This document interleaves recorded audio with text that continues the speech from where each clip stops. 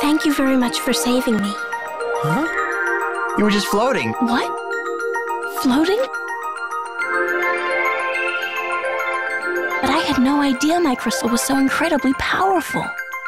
Only the people of the floating city of Laputa knew how to make such crystals. Laputa. See that? It's the power of the crystal. Boys, I want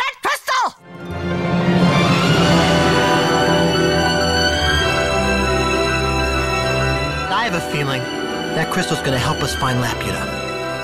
An island that floats in the sky? Yep. Most people think it's just a legend. But I swear, I am going to be the one to prove it.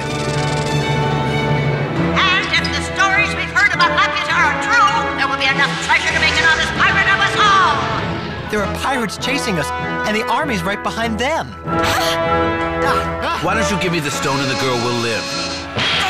To use the crystal's power for selfish reasons will bring great unhappiness.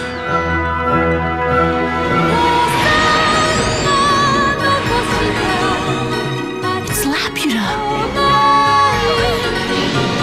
It's my fault getting you mixed up in all of this. Are you kidding? This is the most exciting thing that's ever happened to me.